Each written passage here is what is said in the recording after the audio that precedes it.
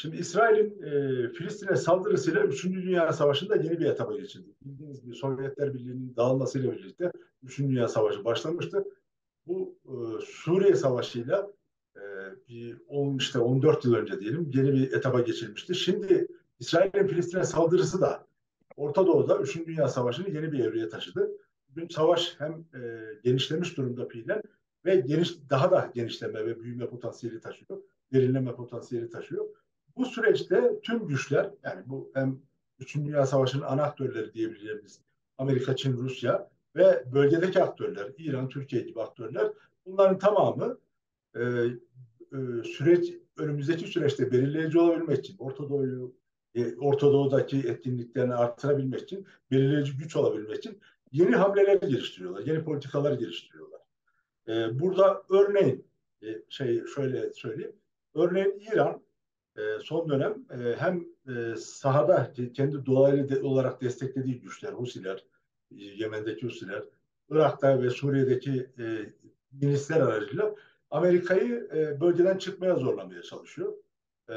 Bunun yanı sıra şundan söz etmek mümkün.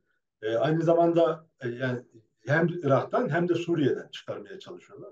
Bu tartışma Irak'la Amerika arasında gündeme geldi. Irak yönetimini özellikle İran bu başlıkta zorluyor. Ve şu an e, şu an önümüzdeki önümüzdeki günlerde Amerika ile Irak arasında İran işte, ABD'nin e, Irak topraklarından çekilmesi, askerlerinin Irak topraklarından çekilmesi tartışması gündeme gelecek. Yani daha doğrusu başladı bir anlamda fiilen. Ve aynı zamanda yakın zamanda e, Amber'in zamanın gazeteci Amber'in zamanın basın yazdıklarından basına akseden bir şey var. Suriye'den de e, Amerikan askerlerinin çekilmesi tartışması gündemdeymiş. Fakat bu yapılan yani analizlere analiz demek şüphe götürür. Çünkü örneğin burada öngörülen şey GP, e, SDG ile e, Esad'ın ittifak yapması ve e, Amerika'nın bir anlamda Suriye'nin toprak bütünlüğü çerçevesinde sorunu çözmeye çalışması gibi bir projeden bahsediliyor. Fakat bunun önünde birçok engel var. Yani burada iyi hesap yapılmadığına dair göstergeler var. Ve e, sonuçta diyelim ki kazara Suriye'den veya da Irak'tan her iki yerden de e, Amerikan askerleri çekildiği, takdirde, çekildiği takdirde bir defa bu bölgeler hem İran'ın hem de Türkiye'nin doğrudan hedefinde olacaktır. Tabi Amerika'nın kafasında şöyle şeyler yoksa yani diyelim ki bölgeyi e, Türkiye'ye terk ederek yani Türkiye'deki yönetime terk ederek onun işgaline terk ederek bir anlamda İran'la çatıştırmak gibi planları yoksa ya da daha sonra e, Amerikan yönetimi böyle yanlış hesapları oldu tarihte de. Örneğin Eğit Donat meselesinde olduğu gibi e, daha sonra bir, bu bölgede çatışmanın büyümesi ve daha sonra kendisinin kurtarıcı olarak yeniden davet edileceği gibi varsayımlara dayanıyor olabilir planlar. Hani böyle saçma şeyler düşünmezler diye e, düşüneceğimiz bir zaman diliminde değiliz. Pekala olabilir. Yani Amerikanlar e, pekala böylesine mantıksız hesaplar yapabilir. Hem Güney Kürdistan'da hem Rojava'da Rojava'ya dönük her gün Türkiye e, Türkler atak yapıyorlar, saldırı yapıyorlar ve katliamlar yapıyorlar. Bu Batı basınında haber dahi olmuyor. Bırakın tepki göstermeyi. Şimdi bu yeni bir şey de değil. Yani ay, aylardır, yıllardır devam eden bir süreç. Dolayısıyla Erdoğan'la Erdoğan'ın faşist olmasının, diktatör olmasının bir saatten sonra bunlar için önemi yok. Yani kendileri de gerek zaten.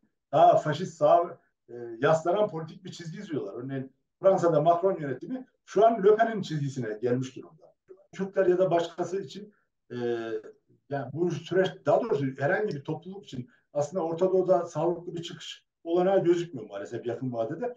Şöyle bir şey yani bir defa bizim yani biz derken hani genel olarak hani başka bir şey başka bir şey istiyorsak, başka bir dünya istiyorsak bir defa barışı ön plana çıkaran politika çizmemiz gerekiyor. Çünkü savaş politikaları bütün sürdüğü sürece Türkiye şöyle, Türkiye şey e, bölgede yani mevcut militarist faşist gücüyle pekala çok daha kapsamlı kanlı katliamlara girişebilecek pozisyonda. Yani buna karşı doğal olarak orada Kürtler direniyorlar. Başka halklar da direniyorlar Kürtlerle birlikte. Fakat bu, şu, bu şuna yetmiyor. Yani diyelim ki e, bu mevcut hani e, hegemonik yapının içerisinden sıyrılıp çıkmaya yetmiyor. Yani tamam direnebiliyorsunuz ama o, o kadar. Şimdi baştan bir takım şeyler yanlış yapıldı. Ya da eksik yapıldı insanların elinden gelmedi. Yani sonuçta e, e, şey bütünüyle bilerek herhangi bir şeyin yanlış yapıldığını düşünmüyorum da. Örneğin Rojava'nın siyasal statüsünün tanınması için Amerikan yönetimine baştan itibaren bastırılmalıydı. Bunun yerine e, biraz şeye bırakıldı, sürünceme bırakıldı.